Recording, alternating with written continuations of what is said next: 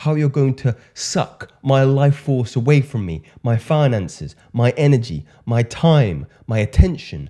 I need these things. I need these things in order to reach this goal here. And what you're offering me, it's not congruent. After 32 days, I have relapsed back into my old habits.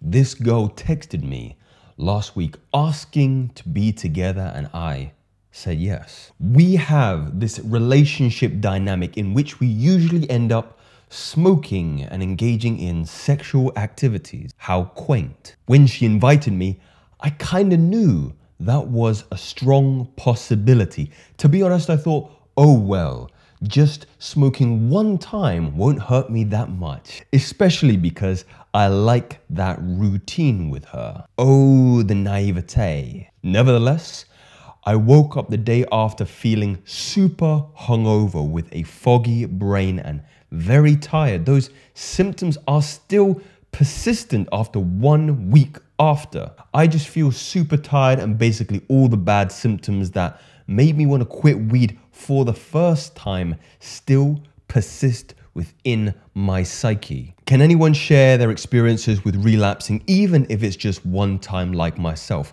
I feel like my 32 days of dedication went straight into the trash and I have to start all over again. I usually use sports to get myself busy, but I've injured my back during swimming practice and I feel physically limited at the present moment. How the fuck do you injure yourself swimming? Am I being stupid? Let me know.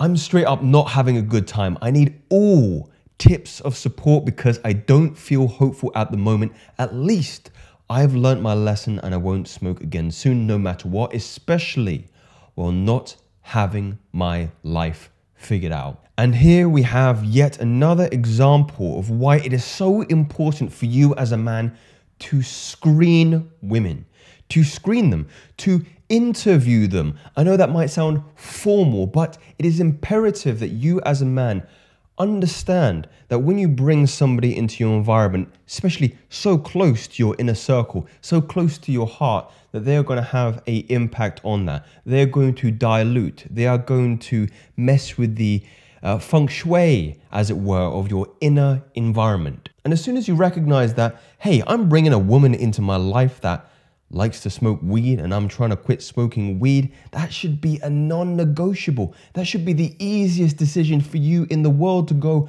absolutely not. We are not compatible. And to be honest, women rarely hear that. They rarely hear, hey, you're great, but we're not compatible. And what does that do inner to, to their inner psychology? It drives them fucking nuts because they've never they've never heard it before.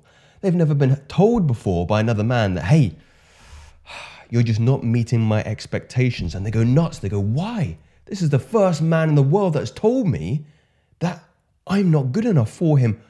He's different. He's different to other men.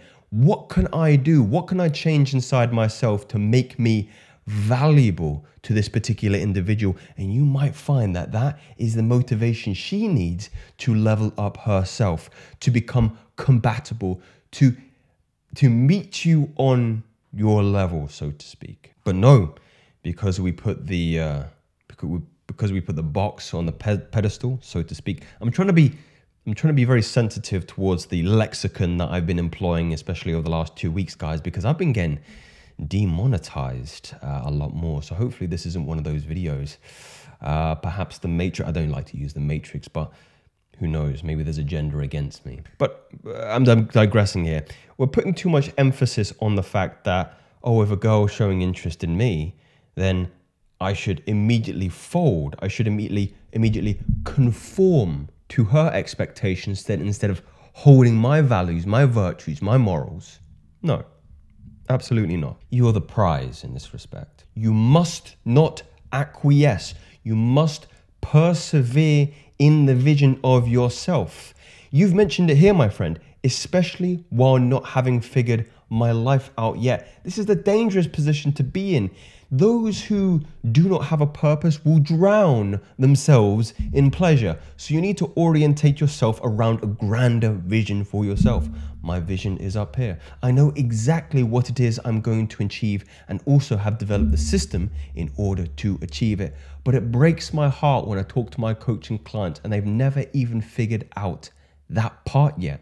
They haven't even sat down and devised a plan of what they would like their life to be and what they would like to achieve. If you have not, I would implore you to take some time in order to do so. And that way, that way, gentlemen, when temptation comes, when the devil comes to you, you can use the word devil. If you don't like to use the word devil, temptation, uh, somebody seeking to knock you off your path, so to speak, it will be easy for you to make an, uh, a decision based on conviction to eliminate them from your environment. And you say, look, my vision right here, I don't see how you're a part of it.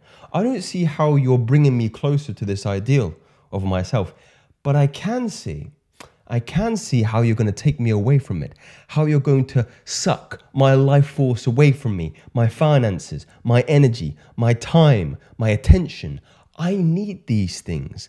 I need these things in order to reach this goal here. And what you're offering me, it's not congruent. It's not congruent with my vision here. So you can take your temptation, you can take your weed, you can take your all, all, all this pleasure-driven um, outcome, and you can you can go and tempt a weaker man because because I'm not here for it. My vision is grander. I'm a conduit for God, the divine, and the universe, and whatever synonym best pleases your, your values and your virtues. Because this is what will happen the grogginess, the fatigue, the brain fog is just a way of your body telling you, hey, hey, hey, you're fucking up right now. You're chasing pleasure instead of purpose. Wake up. Procrastinating this pleasure driven behavior is delaying your dream. Stop fucking up. Not theories, facts. Speak soon.